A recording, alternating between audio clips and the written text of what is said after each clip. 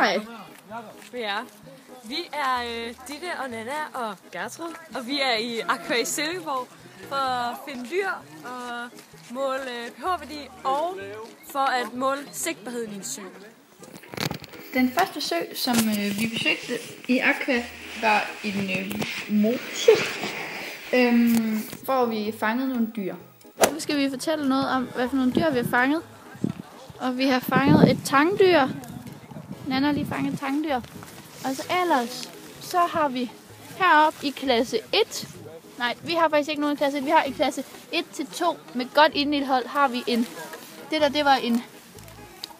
En, hvad fanden var? En, en, en gul slørvinge nymfe. En gul slørvinge nymfe. Ej, ad, ad, æderkop. Øh, og så kan det vise os, fordi den er rigtig dårlig til at optage ild, så den skal have rigtig meget, skal have højt indhold i vandet, vandet så derfor siger, er det et, en, en god sø, eller noget, fordi at så er der Den er højt dårlig. indhold. Og det her, det er en Guldsmedelarve. som ligger i klasse 2 af vandska- vand, vandindholdsskalaen. Og så har vi ikke rigtig nogen i 4 og 3, men så har vi en i, i Der har vi-. Vandkalve og rygsvømmer. Ja. Og de er, øh, de er gode til at optage ilt. Øhm, Fordi at, at rygsvømmer, den lever bare i overfladen, hvor den altid kan få ilt. og så er den hvide på den anden side. Ja. Og vandkalven, den tager en boble, en Sådan. boble vand med ned på bunden. Så den er rigtig god til at udnytte. Og det vil så sige, at hvis, de, hvis der ikke er nogen heroppe, så er det sådan en dårlig sø, men der er nogen der. Ja, hvis vi Så det- kun finder nede i det røde gule felt, så er det en, en sø med lavt indhold. Og hvis vi finder nogen her ved den gode ende, så er det med højt indhold.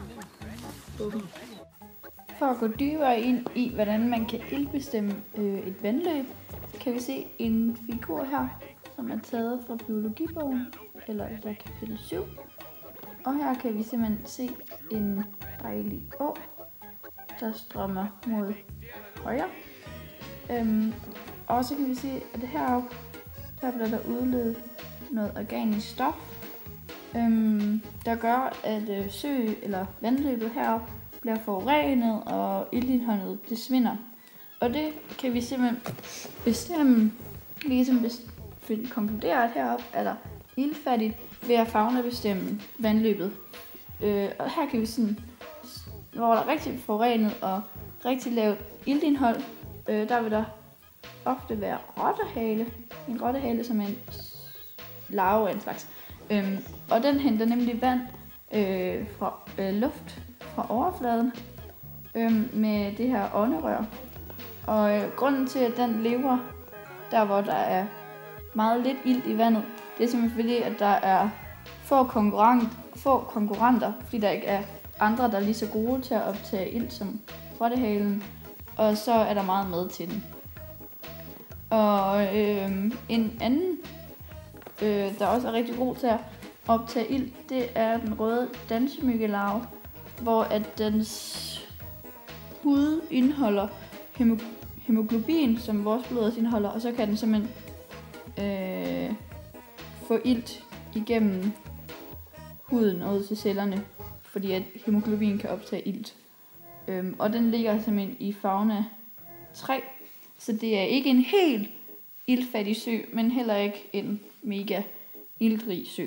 Men hvis man for eksempel finder en slørebie-nymfe, som øh, har hudåndedræt, øh, så øh, ved vi, puha, så er der en god sø øh, med rigtig god ilt, øh, rigtig meget ilt, rigtig høj øh, iltindhold, fordi at hudåndedræt, det er noget af det, det, det dårligste øh, iltoptag, øh, et vandinsektdyr kan have. Så hvis man finder en slørvinymfe, så ved man simpelthen tip-top med ildindholdet. Og så kan vi så også se, øh, at slørvinymfen, den ligger også i den del af vand, vandløbet, hvor der er øh, meget lidt forurening og højt iltindhold. Her kan man så øh, se, hvordan øh, koncentrationen af for eksempel O2 hænger sammen med koncentrationen af øh, BL5 øhm, og øh, slam.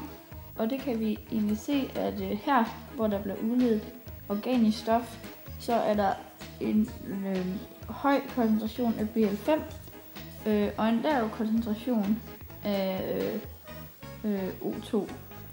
Og jo længere vi kommer, hvad hedder det nu, øh, vi kommer væk fra øh, udledningen, øh, udledningen af det her organiske stof, jo lavere bliver koncentrationen af BL5, og jo højere bliver koncentrationen af O2. Og for at opsummere, så kan vi øh, fra øh, faunabestemmelsen, så her, øh, hvor der er meget lavt ildindhold, så kan vi simpelthen finde, så er det øh, for eksempel rottehalen, der godt kan lide at leve der. Og heroppe er det slørvinymfen. Eller øh, ja, en guldsmedelarve eller sådan noget, men dem finder man nok her omkring. Vi har fundet et meget interessant dyr her nede i søen. Det er en viborg. En rødhåret viborg. Bare gå i gang. Okay, hej. Vi vil måle sigtbarheden, som, ja, i søen, som vi gør med den her plade. Og når vi ikke kan se den mere, så stopper vi. Vi øh, målte sigtbarheden tre forskellige steder i søen, hvor vi derefter øh, dividerede de centimeter, vi havde fået. Og til sidst så fik vi simpelthen en gennemsnitssigtbarhed på 25 cm. Her kan vi se et eksempel på et økosystem i en å eller sø øh, fra Aqua, øhm, hvor at de simpelthen styrer fødekæden ved enten at sætte flere store geder ned, som spiser fredfiskene, øhm, og på den måde får bestanden af fredfisk ned, eller hvis rovfiskene, det her det tænder, hvis rovfiskene har svært ved at finde fange føde, og de sulter, jamen, så sætter de bare flere fredfisk ind. Eller hvis der er overforplantning, så kan man også sætte nogle flere fredfisk ind til at spise noget af det. Og herover til højre, der kan vi se øh, et eksempel på, på den uforurenede sø, og så en forurenet sø. Øhm, heroppe der er der øh, et god økosystem, der er en klar sø, så rovfiskene de har godt udsyn, så de kan fange nogle fredfisk, og øh, solen den er ned til bunden, så øh, planterne de kan vokse. Øhm, og hernede i den forurenede sø, så er der mange alger, den er uklar, derfor kommer der ikke nok sollys ned til rovfiskene, så de kan ikke fange fredfiskene. Øhm, så der bliver over, øh, overbefolkning af fredfisk. Og samtidig kan solen ikke nå ned til de planter, der skulle vokse på bunden. Vi besøgte også en anden sø, da vi var på øh, visit øh, i Silkeborg ved Aqua. Og det var en fuldstændig uforurenet sø, som der er et billede af her. Hej, vi er nu ved øh, den uforurenede sø, den meget, meget rene sø. Og som man kan se her, kan vi også se ned på bunden. Der ligger lige en dejlig grøn dåse dernede. Ølstafet. Ølstafet. Nå ja, og som I kan se, så er det en stor sø, og den er rigtig, rigtig flot. Og den er bare zero forurenet. Den er bare mega god.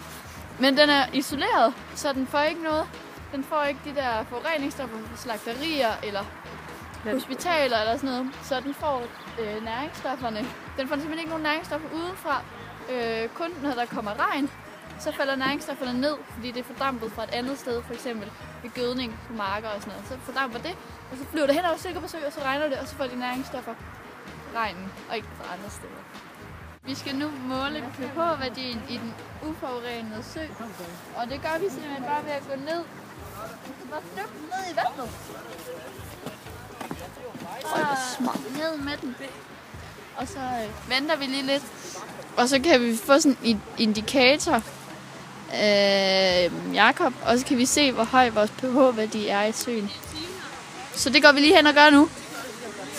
Okay, så kan vi se her, at det er nok en 7'er, vi har her. Så vi har en pH-værdi på 7 i den uforurenede sø pH-værdien i vores øh, uforurenede sø var 7, det vil sige, at, uh, at den er neutral. Fisk de plejer at leve i, en, i vand med en pH-værdi fra 4 til 10. Det er det mest almindelige.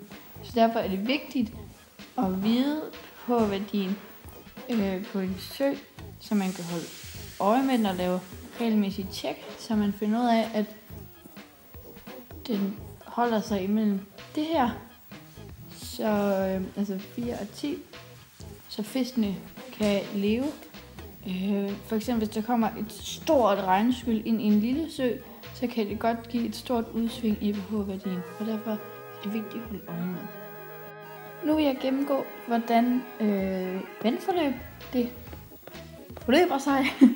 øhm, og det starter oftest øh, i noget slam, eller vi får enden af en bakke, hvor der er et udspring. Øh, og så går det over i øvre å, også kaldet kildebækken. Øh, og så går det ned til mellemste å, og sidst ender den i nedre å. Øvre å, den er øh, kendetegn, det er, at den er, den er smal, og den er hurtigt øh, rindende, og der er meget turbulens i vandet, og på den måde kommer der meget ilt til vandet. Så er den øh, overskygget af øh, planter, øhm, så der kommer ikke så meget sol ned på bunden, så der vokser ikke særlig mange vandplanter i øh, øvre å. Så det er simpelthen øh, nedbryderfødekæde, der er dominant i øvre å.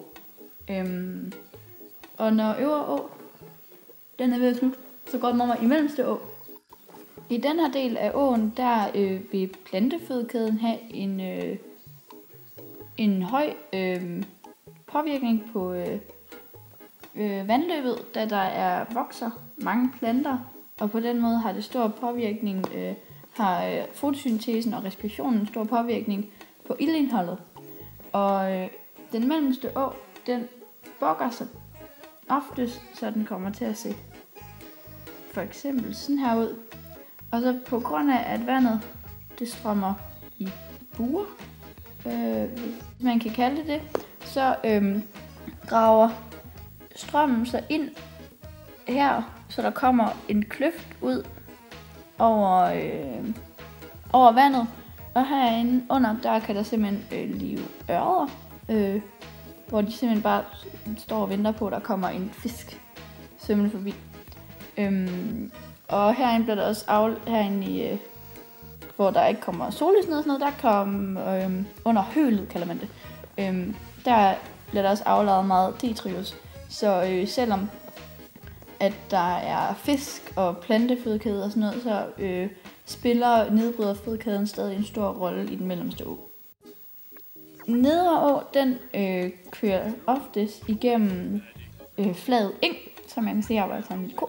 Øhm, og der er meget slam, fordi at øh, hastigheden er meget, eller strømningens hastighed er meget lav. Også, øh, også kendetegnet ved at være meget dyb.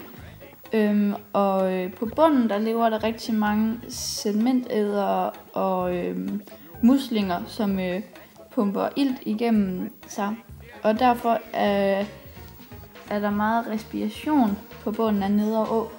Og det vil sige, at der er meget lavt ildindhold på bunden af søen.